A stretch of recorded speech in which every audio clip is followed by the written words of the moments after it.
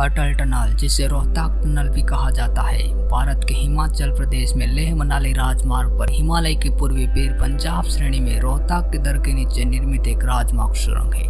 9 kilometre की लंबाई में ये दुनिया में 10,000 फीट से ऊपर सबसे लंबी सुरंग है और उसका नाम पूर्व प्रधानमंत्री अटल बिहारी वाजपेयी के नाम पर रखा गया है।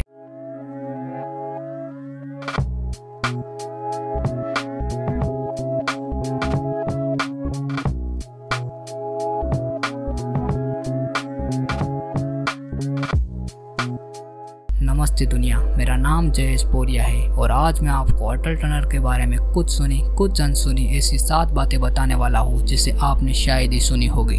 तो जल्दी से जुड़ जाइए हमारे इस सफ़र में। और अगर आप हमारे चैनल पर पहली बार आए तो प्लीज़ सब्सक्राइब अवर चैनल। चलिए शुरू करते हैं। पहले नंबर पर है सुरंग का निर्माण। प्रधानमंत्री नेहरू ने 1960 में स्थानीय लोगों के साथ रोहताक दर के लिए एक रस्सी के रास्ते पर चर्चा की। लगभग उनचालीस साल बाद जब अटल बिहारी वाजपेयी प्रधानमंत्री बने, स्थानीय लोगों ने उनके बचपन के दोस्त अर्जुन गोपाल से उन्हें रोहताक सुरंग के बारे में बात करने का सुझाव दिया। गोपाल और दो साथी शेरिंग दरज्जे और अभय चंद दिल्ली चले गए। एक साल की चर्चा के बाद पूर्व प्रधानमंत्री अटल बिहारी वाजपेयी ने 3 जून 2000 को रोहतक सुरंग का निर्माण का निर्णय लिया था। सुरंग की आधारशिला 26 में 2002 को रखी गई थी।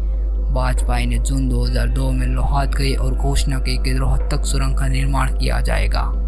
दूसरे नंबर पर है दूरी कम करना। सुरंग ने मनाली और लेह के बीच की दूरी 46 किलोमीटर तक कम कर दी और सड़क अवरोध या हिमस्खलन के खतरे के बिना यात्रा के समय को चार से पाँच घंटे तक कम कर दिया। सुरंग की उपयोगिता इस प्रकार बेहतर हो सकती है। मनाली से रोहतक के उत्तर की ओर और, और कैलांग से दक्षिण की ओर जाने वाली 117 किलोमीटर की दूरी को आमतौर पर वाहनों द्वारा लगभग पाँच से छह घंटे का कवर किया जाता है और पहाड़ी मार्ग पर घंटों तक ट्रैफ़िक जमा होता था। वही यात्रा अब बहुत आसान हो गई क्योंकि सुरंग के दक्षिण पोर्टल में मनाली से 24 किलोमीटर की दूरी जो 50 मीटर की है सुरंग के माध्यम से लगभग 15 मीटर में कवर किया जाता है और वो भी ट्रैफ़िक जाम के बिना।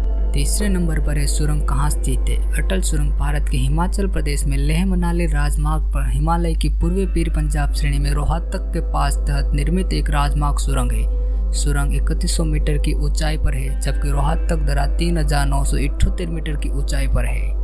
चौथे नंबर पर है सुरंग का क्षेत्र क्या है? 9 किलोमीटर की लंबाई में ये दुनिया में 10,000 फीट में सबसे ऊपर लंबी सुरंग है। यह सुरंग में आपातकालिक संचार के लिए प्रत्येक 150 मीटर पर टेलीफोनिक कनेक्शन, प्रत्येक 60 मीटर पर फायर हाइड्रिक मैकेनिज्म, प्रत्येक 250 मीटर पर सीसीटीवी कैमरा, हर एक किलोमीटर पर एयर क्वालिटी मॉनिटाइजर जैसी पर्याप्त सुरक्षा सुविधाएँ हैं।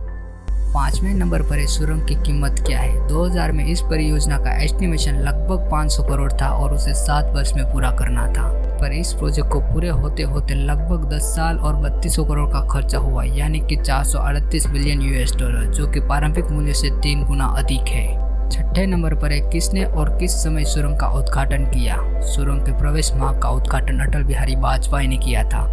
25 दिसंबर 2019 को रोहतक सुरंग का नाम बदलकर अटल सुरंग रखा गया था और सुरंग का उद्घाटन 3 अक्टूबर 2020 को प्रधानमंत्री नरेंद्र मोदी द्वारा किया गया था।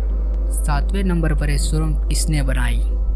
मनाली के लेह से जोड़ने वाली अटल सुरंग का निर्माण द बॉर्डर रोड ऑर्गेनाइजेशन ने किया है। ये रोवा फ्लाई टेक्नोलॉजी का चरित्र करने वाली पहली सुरंग है, जो इंजीनियर को उल्टे स्तर पर काम करने की अनुमति देती है। दोस्तों, ये थी अटल टनल के बारे में हमारी सात जानकारियाँ। उम्मीद करता हूँ आपको पसंद आई होगी। अगर आपको इनमें से कुछ भी जानने को मिला है तो please blessing on our video with like share and subscribe till date आओ जो खुश रहे जो, टाटा बाय बाय मिलते हैं बहुत जल्द अगले वीडियो में. Thank you for watching